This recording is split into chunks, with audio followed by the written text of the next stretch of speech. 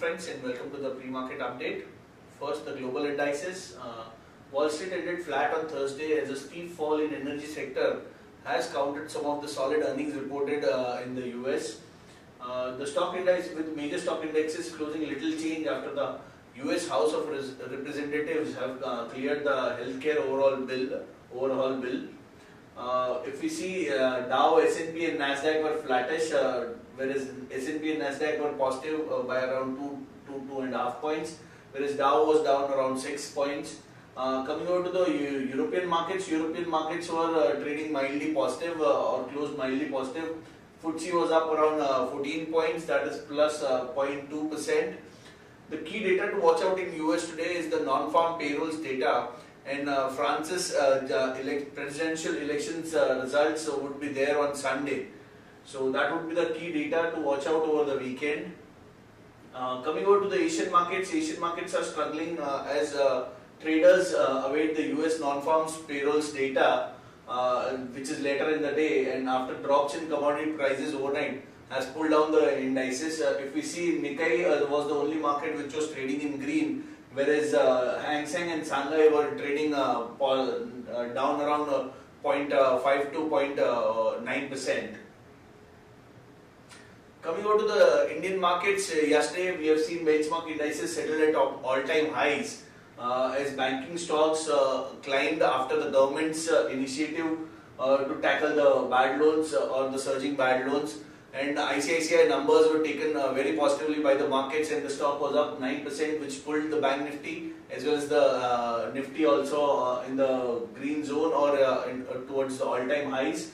Uh, it, it is said that government is now one step closer to the new NPA policy as well as the new steel policy. This has propelled the markets from the consolidation zone and moved towards 9400. Uh, SGX Nifty following tracking the global cues is uh, trading negative around down 37 points and would be likely opening at around 9350 levels. Coming out to the areas, uh, major areas were uh, trading positive from Infosys, Wipro, HDFC Bank and ICICI Bank trading uh, positive in the range of 0.2 to 0.8 percent whereas Dr. Reddy's uh, ADR was negative by 2 to 2.25 percent so that is the only negative uh, uh, on the ADRs front. If we see FIS activity, FIS was sellers in Indian markets yesterday to the tune of 601 crores, whereas domestic institutions were buyers in the Indian markets to the tune of 926 odd crores. Now let's look at some of the trading ideas for the day. Uh, Tata Communications is the first trading idea. Uh, it is short. Uh, Tata Communications reported Q4 loss of 260.8 crores versus a profit of uh, 1413 crores, uh, that is quarter on quarter. Loss from continuing operations uh, came in at 982.4 crores versus a profit of 1.3 crores. So now numbers were bad. So short Tata Communication current market price is 706. The stop loss should be kept at 720 for a target of 685 and 670. Next trading idea is MCX. MCX also reported poor set of numbers yesterday. Uh, volumes were down 16.5%, whereas gold uh, volumes were down 51%, and silver uh, volumes were down by 26%. So this was a major negative. EBITDA is also down 28%, uh, whereas EBITDA was 21% uh, versus 30.2%. So uh, all in all, poor set of numbers from MCX, and idea is short MCX. Current market price it is trading at 11 1155 uh, stop loss should be kept at 1172 for a target of uh, 1120 and 1100. The next idea is Oberoi Realty. It has reported good set of numbers yesterday, so it is long. Uh, Oberoi Realty revenues were up 26% at 290 crores, whereas EBITDA was up 52.3% at 152 crores, and PAT was up 150%, uh, or sorry, 50% at uh, 102 crores. So all in all, good set of numbers from Oberoi Realty. Action to be taken is long. Current market price is 396 uh, for a stop loss being kept at 388 for targets of 407 and 415 in Oberoi Realty. Now let's look at some of the news updates for the day. Godrej Properties planning new launches uh, uh in quite a few cities that is Mumbai, Pune, Bangalore and NCR region. SH Kelkar board is considering buyback uh, and they would meet on uh, May 12 to consider the buyback. Reliance to buy coal bed uh, uh, gas from its own block at $4.23 per MMBTU. Government has signed MOU, MOA to purchase uh, 1000 megawatt wind power. Equity ETF's asset base has jumped three times or three folds to 43,003 uh, 43,234 crores.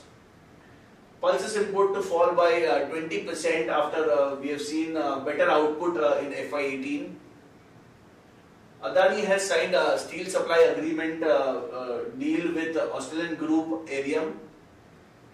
CBI has arrested REI Agro's promoter that is Sanjay Jhunjhunwala in a load fraud case, loan fraud case there are quite a few changes in indexes which will be effective from May 26.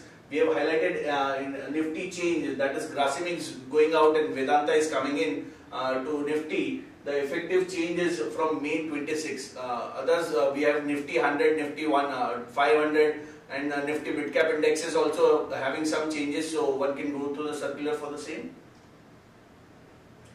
Patanjali is eyeing 20,000 crores turnover in FY18 or, or in this year. Uh, currently it is doing around 10,000 odd crores, so it is seeing a, one full jump or uh, it is planning to double its uh, revenues or turnover.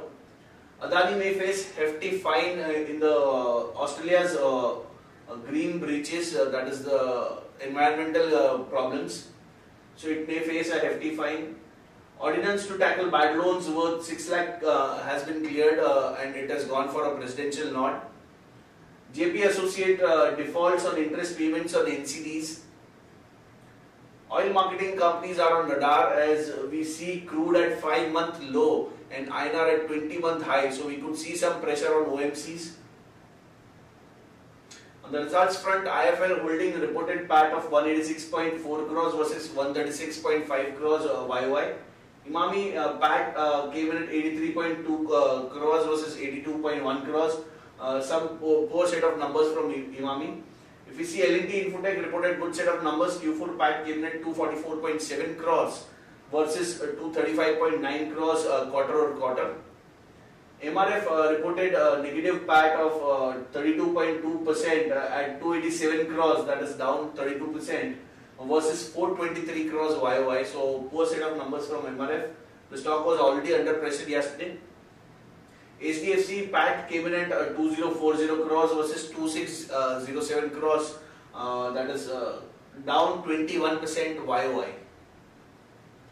Advisory picks uh, are Ashok Leyland with upside potential of 25.7%, Sun Pharma with upside potential of 22.6%, IndusInd Bank with upside potential of 18%, NBCC with upside potential of 13.8% and Laurus Lab uh, with upside potential of 12.6%. On the results to be announced today, we have quite a few numbers. Apollo Tyres PAT estimates are close to 280 crores. Eicher Motors PAT estimates are 450.8 crores. FSL PAT estimates are 68.4 crores. NIIT Tech PAT estimates 73.2 crores. G Shipping PAT estimates 209.7 crores. Blue Dart uh, 38.8 crores PAT estimates. Equitas 34 crores. And we have Shoppers Stop announcing numbers. Uh, uh, estimates are 6.4 crores. Other than this, uh, we have Atul and Spark also announcing their numbers today. So the stocks could be in action today. That's it friends. Uh, I'd like to call upon my derivative expert to give you some insights for the day. Good morning friends, we'll give analysis on derivatives. Uh, yesterday's trading session was a, a, trade where bulls were back in action after seeing Nifty, uh, Nifty consolidating at 9,300 odd levels. We did show some kind of a positive momentum there on 9,300 put option, uh, which we were uh, we, we, were did, uh, we were did, um, uh, uh, highlighting that it has been showing an highest in terms of open interest and it's been slowly and steadily picking up in terms of open interest and it's now the highest in terms of open interest and is now the uh, strong support zone for this series and due which market did uh, manage to close on a gain of around uh, 0.40 percentage settled at 9376.95 it was the banking uh, day in yesterday's trading session being it private sector or PSU banks uh, most of the uh, most of all the banks was been able to participate in this up move banking sectors were the, were the major outperformer in yesterday's trading session On the open interest terms, uh, not much of activity, uh, very minor addition of around one and a half odd percentage was added in the open interest and the absolute terms 2.62 lakh shares were added in the open interest while cost of carry decreased significantly from 5 percentage to 3 percentage that is Nifty premium rate came down from 28 29 odd points to currently just 17 points. However, we will consider majority of the addition which was seen in yesterday's trade was on the longer side. Put call ratio uh, did increase by 5 basis point from 1.13 to 1.18 and uh, volatility index cooled off uh, um, in line with the market going up. We do so we do see and decrease in volatility index and that did happen in yesterday's trade. It cooled off from 11.5 to 11.18 odd levels. On the options activity 9400 call option I've seen minor addition of uh, minor addition of around 5 odd percentage Rest all call option uh, have seen a uh, reduction in the open interest 9,300 and 9,500. 9,500 being the highest in terms of open interest have seen a reduction of one and a half odd percentage and 9,300 call option have also seen a reduction of six and a half odd percentage in yesterday's trade. While on the put side we have seen significant amount of addition in 9,300 put option which is now the highest in terms of open interest uh, with around 57 lakh shares into it and in yesterday's trade we saw an addition of around 24 odd percentage. So all in all 9300 will now uh, act as a uh, good support for the market and uh, activity of now 9400 would be quite crucial to watch out for. A further unwinding in 9400 call option could now trigger a further, a further upside in the market. But if you see a uh, continuous addition in this strike price and expect market to be in a range bound between 9300 to 9400 levels. On the market level of 5 days we have trends at 9350 with a lower range at 9350 and higher range at 9400. On the derivative watch list, based on the derivative parameters, we have identified certain stocks with positive and negative bias. The stock with positive bias are Adani Ports, current market price 340, Hexaware, current market price 238, and Cummins India, current market price 1065. While stock with negative bias are IndusInd Bank, current market price 1429, Tata Motors, current market price 439, and uh, Bharat Forge, current market price 1123. Uh, there are four securities in the ban period for today's trade that is Adani Enterprise, Bharat Finance, JSW Energy and Ujjivan. On the FIS terms, it was surprising to see FIS were being uh, on the selling side in index futures despite market showing a decent amount of up move, especially on the bank nifty front, but FIS was still on the selling side in index futures. Net sellers by 439 odd crores, while uh, index options net buyers by 1328 odd crores. Stock futures net buyers by 477 crores and stock options net buyers by 40 crores only. That's it from our side. That's it from derivatives. Have a nice trading session.